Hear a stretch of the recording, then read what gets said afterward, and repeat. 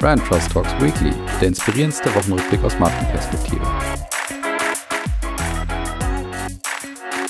So, liebe Hörerinnen und Hörer, willkommen zurück zu einer neuen Folge Brand Trust Talks Weekly. Und ich habe natürlich einiges wieder für euch vorbereitet und ich weiß gar nicht, wann das hier heute enden soll, deswegen gebe ich auch gleich Gas. Ich habe keinen Verlierer heute, aber einen Gewinner und eine etwas längere Fundstück-Episode, würde ich sagen. Los geht's. Ja, den Anfang macht heute Klarna, das schwedische Fintech-Startup, das eben sein Ökosystem äh, in Deutschland erweitern möchte. Und zwar möchte Klarna jetzt ermöglichen, dass man auch ein Bankkonto bei Klarna eröffnet. Und die Anmeldung ist erstmal für alle möglich, aber auch ähm, erstmal nur eine Beta-Version, wo vor allen Dingen treue Kunden berücksichtigt werden sollen. Und dadurch möchte natürlich Klarna erstmal testen und vor allen Dingen Daten sammeln. Klarna kennt man vor allen Dingen aus dem Online-Shopping, weil das ein alternativer Bezahldienst ist, wo ähm, ja die dafür bekannt sind, dass du in vereinfachter Art eben in Raten oder auch auf Rechnung zahlen kannst und Klarna damit das Risiko für den äh, Shopbetreiber übernimmt. Und dann schon in den letzten Monaten wurde eben deutlich, dass Klarna immer mehr äh, zur Super-App werden möchte und eben neben Bezahldienstleistungen inzwischen auch Technologien für Shopbetreiber anbietet, also zum Beispiel ein Express-Kaufbutton oder auch In-Store-Bezahlmöglichkeiten. Und ähm, sie haben ihre Konsumenten-App auch immer weiter erweitert und zwar um Wunschlisten, Top-Deals oder auch, dass du einfach Inspiration erhältst. Und jetzt kommt eben noch eine Möglichkeit eines Bankkontos ähm, hinzu, wo man äh, eine Kreditkarte bekommt, aber auch zweimal kostenlos pro Monat Geld abheben kann mit der Kreditkarte. Und das ist jetzt mal wieder so ein Zeichen, wo Fintechs sich mal wieder weiter ausbreiten und Klarna greift mit ihrer App jetzt ja deutlich äh, an einfach andere Konkurrenten an. Und das sind nicht immer nur die Banking-Apps aus meiner Sicht, sondern auch so Marken wie About You mit ihrer äh, Modemarken-App, würde ich sagen.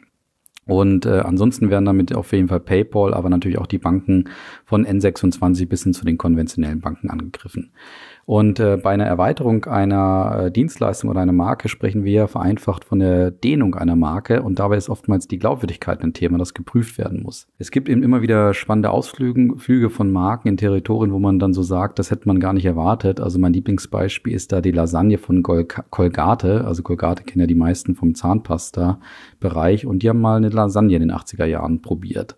Und bei Klarna ist das Thema bei Weitem nicht so gelagert. Also die machen da schon einen etwas glaubwürdigeren Schritt. Und zwar erweitern sie eben ihre Dienstleistung, indem sie weiterhin den Kunden und den Händler ganz klar in den Mittelpunkt stellen. Und das ist eben so, dass man da gar keinen Shishi erkennen kann, dafür eben ganz viel Klarheit und ganz viel Einfachheit für den Kunden. Und das ist praktisch der Kleber zwischen all den Dienstleistungen äh, und das natürlich rund um das Thema ähm, Banking geht. Also auf jeden Fall ein gefährlicher neuer Player für all die genannten Konkurrenten.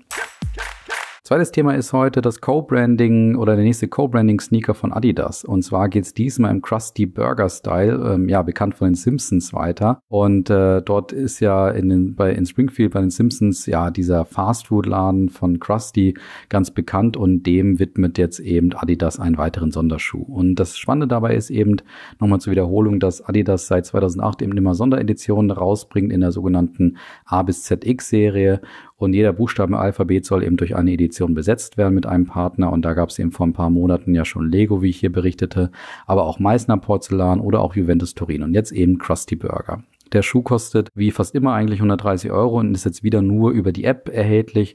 Also das heißt wieder ein wunderbares Mittel, um die Fans der Marke zu beglücken, aber natürlich auch die leidenschaftlichen Sneakersammler auf der ganzen Welt. Und was gibt's denn Neues bei Clubhouse? Ja, eigentlich nicht viel. Die App ist auf jeden Fall weiter irgendwo so im Hype, aber es wird schon gerade etwas souveräner und es normalisiert sich, würde ich sagen. Also der Umgang mit der App ist jetzt eben, wie ich auch gesagt hatte, jetzt mehr so mehr oder weniger so ein etablierter Kanal. Ist jetzt nicht mal ganz so besonders, wenn du sagst, hey, ich bin heute Abend auf Clubhouse, sondern es ist eher so, hey, ich bin ganz normal eben auf Clubhouse und ich mache dort vielleicht auch ein Format. Und ähm, was ich ansonsten lese, ist durchaus gestiegene Aggressionen von Android-Usern. Also das kann man schon überall beobachten, dass sie sich ausgeschlossen fühlen. Noch stärker als der Hype eben losging. Da haben die meisten noch gesagt, ja, für mich ist das eh nichts. Und jetzt eben mehr so ähm, Aggressionen. Das ist durchaus gefährlich für Klappers. Aber wie ich ja sagte vor ein paar Wochen, ich glaube, das ist eben eine Strategie, dass man damit nochmal einen weiteren Schub geben kann, ähm, wenn man das dann für Android-User eröffnet. Ähm, Clubhouse muss sich mit dem Thema beeilen, weil jetzt kommen die Konkurrenten auf den Plan. Twitter launcht zum Beispiel jetzt den Dienst Spaces, wo man sich eben auch ähm, auditiv treffen kann. Und auch Facebook gab jetzt die Entwicklung bekannt und bekam da gleich postwendenden Seitenhieb vom Produktchef von Twitter, der, nämlich, der nämlich sagte, man sei überrascht, dass äh, Facebook so lange braucht, um das zu kopieren, weil Facebook ja dafür bekannt sei, gute Dienste eben auch schnell zu kopieren, wie zum Beispiel bei ähm, TikTok und Reels bei Instagram. Und Twitter hat natürlich den Vorteil, dass die Followerstruktur bereits besteht, was den Dienst eben nochmal pushen könnte. Ähm, was aber auch interessant ist, ist, dass Twitter ähnlich wie es auch Clubhouse eben oder wie ich es auch auf Clubhouse erwartet habe, eben eine Art Bewertungssystem aufbauen möchte, wie äh, wo eben zum Beispiel Redner auch, die sich schlecht benehmen, einfach auch negativ bewertet werden können. Das Thema Aufzeichnen wird bei Twitter auch sehr äh, ähm, hart diskutiert, gerade man sei aber noch nicht zu einem endgültigen Schluss gekommen. In jedem Fall ist es auf jeden Fall gefährlich für Clubhouse, dass dort jetzt neue Konkurrenten dazukommen, aber es ist auch ein deutlicher oder ein weiterer Schub für die Marke und für die App, weil ähm, First Mover auch oft davon profitieren, dass die Kategorie eben durch Second Mover auch eröffnet wird. Jetzt heißt es eben für Clubhouse auf jeden Fall verteidigen und weiterentwickeln. Ja, was ist sonst noch passiert? Ähm, Rihannas Modemarke Fenty macht dicht und die Modemarke wurde eben von Rihanna gemeinsam mit dem Luxusgüterkonzern LVMH gelauncht vor zwei Jahren und der Name geht dabei zurück auf Rihannas bürgerlichen Namen. Und da ich mich jetzt nicht ganz so gut auskenne in dem Bereich, habe ich äh, meine Kollegin und Modemarkenexpertin Dr. Judith Meyer eingeladen zum Weekly hier, um doch mal ihre Einschätzung zu bekommen zu diesem Thema. Das Label wird ja von der Musikerin Rihanna gestützt und gehört zum Luxusgüterkonglomerat LVMH. Ja, und das Interessante ist, dass das Label auch erst im Frühjahr 2019 gegründet wurde. Und es zeigt sich natürlich hier auch einmal mehr, dass die Krise auch nicht vor Luxusmarken Halt macht. Was mir super gut gefallen hat an Fenty, Fenty hat den Kunden direkt angesprochen, hauptsächlich über Online-Vertrieb und hat immer ein limitiertes Angebot auf den Markt gebracht, also große Verknappungen. Und dieses Angebot hat auch immer losgelöst von den traditionellen Modeschauen operiert. Stand auch immer zum sofortigen Verkauf bereit, sogenanntes ähm, Drop-System, also ganz unregelmäßig und immer auch mit einer besonderen Aktivierung verbunden. Der Erfolg auf Social Media war sehr, sehr groß. Allerdings schien sich der Hype wirklich nicht ganz auf die Verkaufszahlen zu übertragen. Was mich dann auch wirklich zu der Erkenntnis bringt, dass Erfolg auf Social Media nicht gleich heißt, Luxusprodukte an den Mann oder an die Frau bringen zu können. Ja, Luxusmarken ticken hier mal wieder ganz anders als die Marken des täglichen Gebrauchs. Und ich bin jetzt sehr gespannt, was passiert. Rihanna hat nämlich wirklich sehr viel Diversität und positives Body-Image in die LVMH-Welt gebracht. Und ich bin mir nicht ganz sicher, ob LVMH es sich auch in Zukunft leisten kann, darauf zu verzichten. Ja, super. Danke, Judith.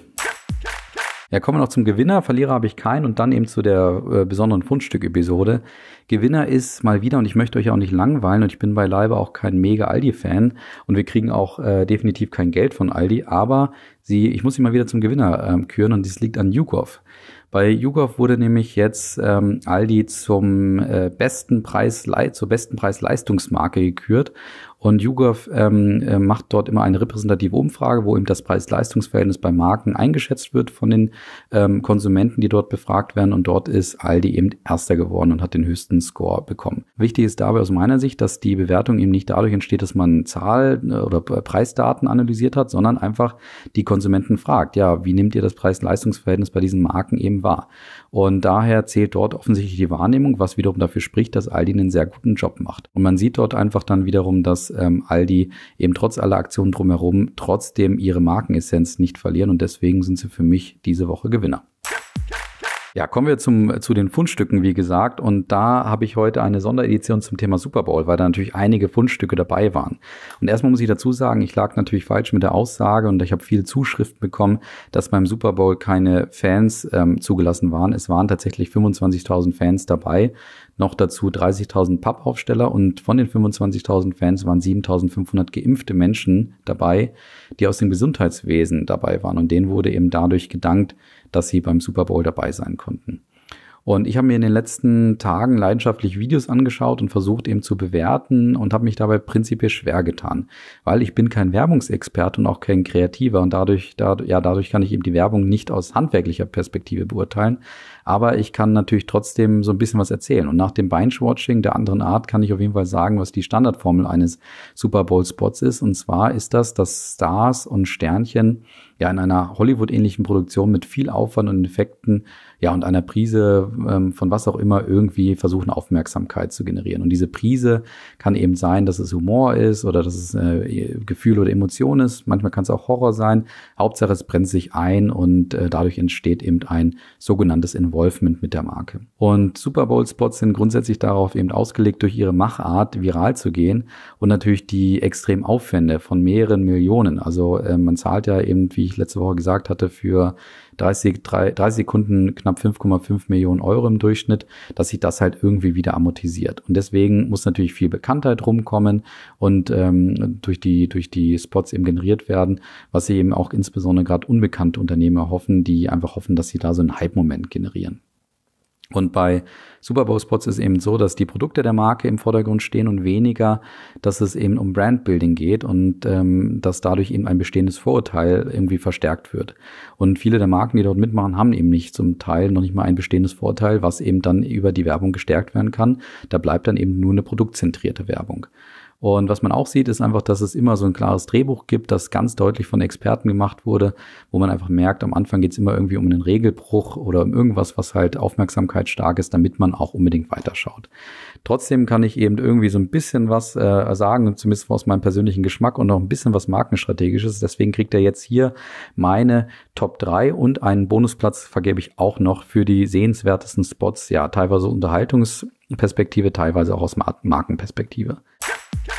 Die ganz klare Nummer eins für mich ist der Oatly-Spot. Und zwar bricht der Hafermilchproduzent mit allen Re Regeln, die ich da oben gerade aufgebaut habe. Der Spot dürfte wahrscheinlich nur so ein paar hundert Euro gekostet haben, weil der CEO von Oatly singt dort einfach nur, dass Oatly Milch eben für Menschen gemacht ist und ja, mehr erzählt er eigentlich gar nicht. Und das ist kantig originell, das ist regelbrechend und irgendwie genau wie man Oatly auch kennt und mit einer ganz klaren harten Botschaft versetzt, eben nämlich, ja, die auch nicht jeder verträgt, nämlich, dass Milch von Kühen eben eher für Kälber ist und nicht für Menschen. Und sie verkaufen jetzt zusätzlich noch für 0 Dollar Shirts auf ihrer Webseite, wo man eben dann zeigen kann, dass man den Oatly-Spot so richtig bescheiden fand. Und die Amerikaner fühlen sich richtig verschaukelt, ähm, aber das zeigt einfach, ähm, dass die Marke Oatly halt einfach sehr kantig und hart ist. Beim geteilten zweiten Platz kommen zwei Spots, die ich einfach unterhaltsam fand. Einmal von M&M's, einfach ein lustiger Spot, könnt ihr euch auch mal anschauen. Und von T-Mobile, ähm, die ja eine ganz coole Story und eine Idee hatten, wie sie die Vorzüge der Marke und ihrer Technologie eben vorstellen können.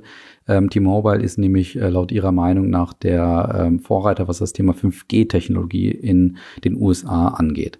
Und ähm, auffallend war für mich noch die spürbare Anpassung der Werbung eben an den amerikanischen Markt und die an amerikanische Machart. Da spürt man auf jeden Fall nichts mehr von Deutschland. Könnt ihr euch auch mal anschauen.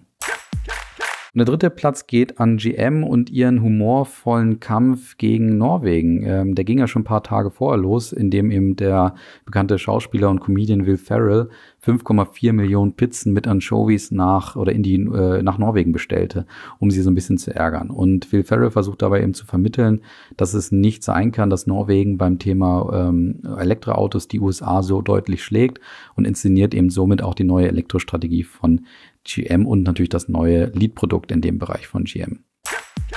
Ein Bonusplatz geht in dem Zuge an Audi, die das wunderbar verstanden haben, im Windschatten des Super Bowls mitzuziehen. Und zwar haben die eine Art Gegenantwort für GM parat gehabt, weil der Audi e-tron nämlich der meistverkaufteste, äh, das meistverkaufteste Elektroauto in Norwegen sei. Und dazu verpflichteten sie eben den norwegischen Game of Thrones Star Christopher Hiu, der mit einer grandiosen Botschaft aufwartete und sagte, not hate, but imitate und dadurch ganz klar sagte, ja, der Wettbewerb ist auf jeden Fall willkommen beim Thema E-Mobility, weil es natürlich allen gut tut, wenn sich dort was bewegt. Und er hielt gleichzeitig die norwegische Flagge und den norwegischen Stolz nach oben und hielt den praktisch in Ehren. Von daher eine ganz klasse Reaktion von Audi und deswegen auch bei den Fundstücken bei diesem Super Bowl, bei der Super Bowl Sonderedition dabei. Ja, ein Fundstück habe ich noch für euch ähm, zum Thema Valentinstag, nämlich und zwar hat das Social Business Ecosia ähm, sich etwas überlegt. Also das Social Business ist, ähm, Ecosia ist eine Art Suchmaske, die du installieren kannst. Und wenn du über diese Suchmaske suchst, werden die Einnahmen aus der Suche eben ähm, genutzt, um davon äh, Bäume zu pflanzen. Und die haben sich was Schönes überlegt, ähm, um jetzt im Rahmen von Valentinstag so eine gewisse Gegenkampagne zu starten. Und zwar sagen sie einfach, ja, ähm, kauft doch lieber Bäume oder finanziert doch lieber Bäume, anstatt ihr, dass ihr Rosen kauft. Und äh, weil ich ja weiß, dass meine Frau hier immer zuhört, ähm, übergebe ich jetzt hier live ein paar Bäume, die ich für sie gekauft habe zum Valentinstag. Ja, Schatz, also ich habe anstatt äh, Rosen oder irgendwelcher Blumen, die ich äh, gekauft hätte, jetzt einfach zehn Bäume finanziert, ähm, gemeinsam mit Ecosia. Ja, glaube eine ganz schöne Aktion. Macht's mir doch einfach einfach nach und damit entlasse ich euch jetzt ins Wochenende und auch in den Valentinstag und in eine wunderbare Woche. Macht's gut, bis nächste Woche wieder am Freitag um 13 Uhr. Ciao.